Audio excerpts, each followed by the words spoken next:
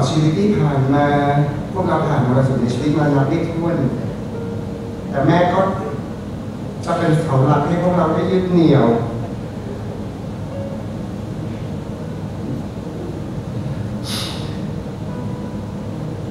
และเป็นผู้ที่ลงมือกระทำและเป็นแบบอย่างให้พวกเรา โดยเฉพาะในเรื่องความอดทน แม่เป็นคนที่มีความอดทนและอึดที่สุดเท่าที่ในชีวิตของเราเคยพบ อย่างน้อยๆการที่ต้องเลี้ยงพวกเราทั้งสี่คนมาด้วยตัวคนเดียว จนเราโตขึ้นมาและหล่อหลอมใจเราให้เรากันได้แบบนี้ มันคงไม่ใช่เรื่องที่ง่าย การจากไปของแม่ในวันนี้สำหรับป้าและพวกเราลูกๆทั้งสี่คนหลานๆทั้งเจ็ดคน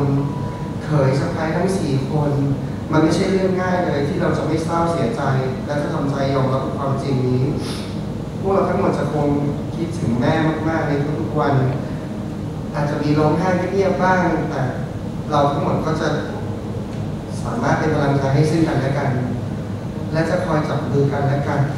เหมือนกับที่แม่ทำให้กับพวกเราทุกคนมาโดยตลอด แม่ไม่ต้องห่วงนะว่าวงกลมที่แม่ค่อยๆสร้างขึ้นมา มันจะแตกสลายหายไป หลังจากที่แม่ไม่อยู่ แต่วงกลมนี้จะถูกขยายวงต่อไปเรื่อยๆ จนชั่วลูกชั่วหลานของเรา แล้วพวกเราจะส่งต่อความรักความอบอุ่นแบบนี้ตลอดไปนะแม่ ขอบคุณที่แม่ให้ชีวิต ขอบคุณที่เชื่อในตัวลูกทุกคน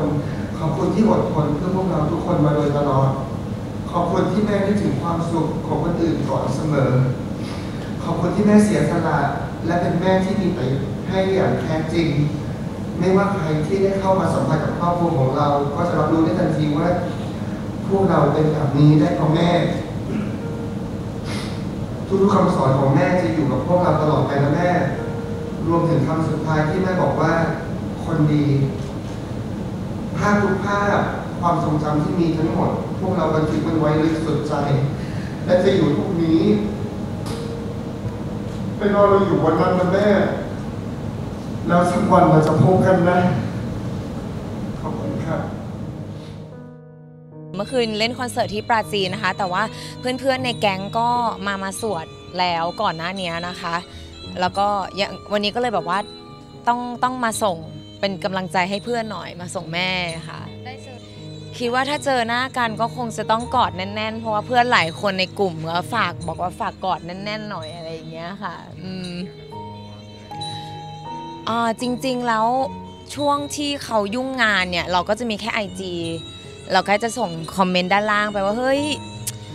แม่เป็นนางฟ้าแล้วนะออฟแม่ภูมิใจมากอะไรอย่างเงี้ยค่ะ ก็คือเอ่อหลายคนก็ให้กำลังใจในในอินสตาแกรมเพราะว่าดารู้ว่าช่วงนั้นเขาคงไม่ได้เล่นโทรศัพท์เยอะด้วย คงยังวุ่นกับงานค่ะ ได้เห็นเขาดูแลแม่มาตลอดยังไงใชบ้า่ง คือดากับออฟอะแทบจะเป็นนักร้องเจนเดียวกันเลยอะเหมือนแบบว่าตั้งแต่ออฟออกจาก AF มาทำงานศิลปินเดี่ยว ก็เหมือนค่อยๆ โตกันมาเรื่อยๆใช่ไหมคะแล้วก็เห็นการพัฒนาเห็นคอนเสิร์ตใหญ่เห็นแบบทุกอย่าง คือคือเรารู้อยู่แล้วอะว่ามีมีนักร้องหลาย ๆ คนอย่างเช่นออฟเนี่ยที่แบบทำงานเพื่อดูแลครอบครัวแล้วก็อะไรหลาย ๆ อย่างนะคะ คือเราก็เลยรู้สึกว่า เออเนี่ยการที่เราเต็มที่กับอะไรบางอย่าง แล้วเราสูญเสียคนที่เรารักไปมาก ๆ เนี่ย อะไรไม่สำคัญมากกว่ากำลังใจคนที่เหลืออยู่ก็คือเพื่อนๆด้วยพี่ๆน้องๆทำงานด้วยกัน ก็เลยคิดว่า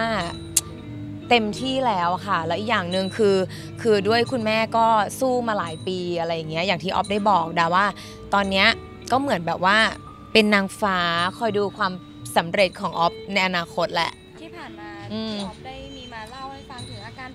โอ้ยบ้างอะไรอย่างงี้บ้างไหมคะ ไม่ไม่ค่อยพูดเชิงลึกนะคะ แต่เคยเล่าให้ฟังว่า เออเนี่ยต้องกลับบ้านต้องรีบกลับบ้านนะอะไรอย่างเงี้ยไปไปหาแม่อะไรอย่างเงี้ยค่ะ คือ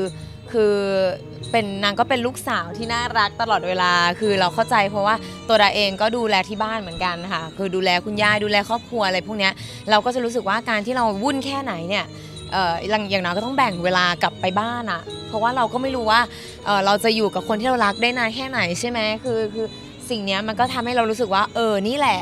คือการดูแลบ้านปลายชีวิตที่ที่สำคัญที่สุด พี่ดาก็บอกว่าพี่ออฟเนี่ยดูแลคุณแม่เต็มที่ที่สุดแล้วโอ้ยเต็มเต็มที่มากคือปีปีหลังเนี้ยค่ะ คือแบบจะจะจะแทบจะแม่อยู่อยู่กับแม่บ่อยขึ้นมาก ๆเลยอะค่ะ แล้วอย่างหนึ่งดาดาคิดว่าเห็น IG ออฟตลอดนู่นนี่นั่นพาแม่ไปเที่ยวไปนั่นไปนี่คือดารู้สึกว่าเนี่ยแหละมันเป็นช่วงเก็บเกี่ยวความทรงจำที่ดีที่สุดนะคะ ไม่ว่าจะใครในครอบครัวที่เราอยู่ในฐานะ เป็นคุณพ่อคุณแม่ คุณยาย คุณย่า คุณน้า แล้วแต่ใครโตมากับใคร ก็จะผูกพันแล้วดาคิดว่า การที่เราได้ดูแลเขาอย่างเต็มที่เนี่ยจะทำให้เราไม่เสียใจจริง ๆ ใช่ อืมคือดาคิดว่าออฟเก่งนะ คือออฟเป็นคนมองโลกในแง่ในแง่บวกด้วยแหละ เป็นเป็นคนหลั่นล้าอยู่แล้วสำหรับตัวนิสัยออฟเองนะ ดาคิดว่าก็หลังจากนี้ดาคิดว่าน่าจะเป็นอีกบททดสอบในชีวิตที่ดาว่าออฟต้องผ่านมันไปได้อะเพราะว่าหนึ่งอย่างที่ทุกคนก็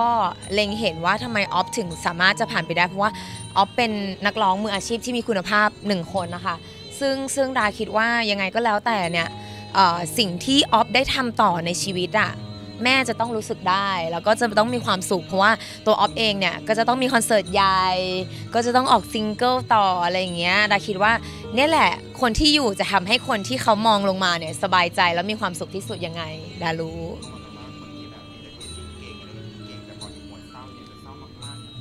ดาคิดว่าก็ก็มีมุมนั้นนะคะดาว่าหลาย ๆ คนน่ะที่แข็งแรงอะดาว่าตัวดาเองก็ยังมีแบบแวบๆเหมือนกันอะไรอย่างเงี้ยค่ะ แค่ว่าเราจะสามารถฟื้นฟูได้เร็วแค่ไหน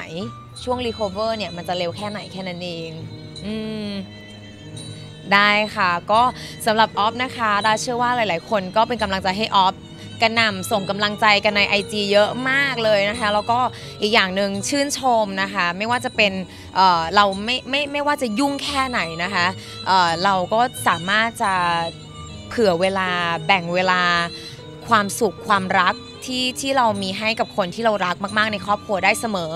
ซึ่งเรื่องพวกนี้มันเป็นเรื่องสำคัญค่ะ เพราะฉะนั้นแล้วตัวดาเองก็เป็นกำลังใจให้ออฟและเชื่อว่า คุณแม่จะต้องภูมิใจออฟมากมากมากมากมากมากมากมากถึงมากที่สุดนะคะ แล้วก็เดี๋ยวทุกคนจะรอคอนเสิร์ตใหญ่ของออฟได้ออกมา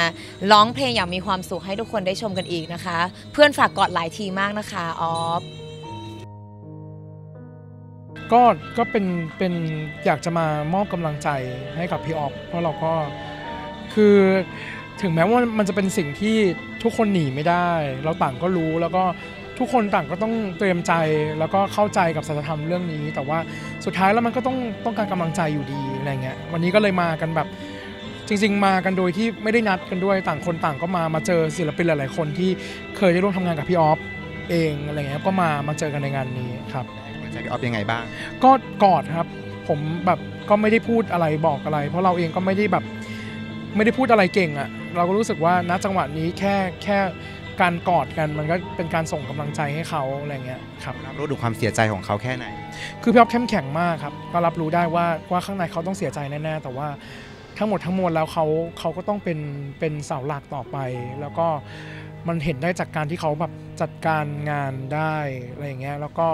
เอ่อจะรับแขกเอยหรือว่าดูแลแขกในงานอะไรเงี้ยมันก็จะเป็นทำให้เรารู้สึกได้ว่าเออเขาเป็นคนที่แบบเข้มแข็ง ข้างในเขาก็